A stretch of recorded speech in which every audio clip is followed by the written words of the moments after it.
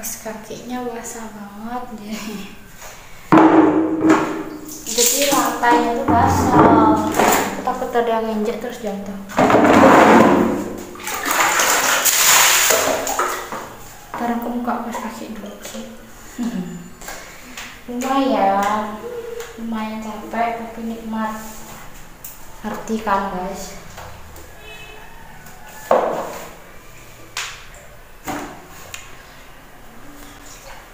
ya oke sekian dulu video video part keduanya terima kasih buat kalian yang udah ngeluangin waktu buat nonton video aku. Jangan bosan sampai ketemu di video berikutnya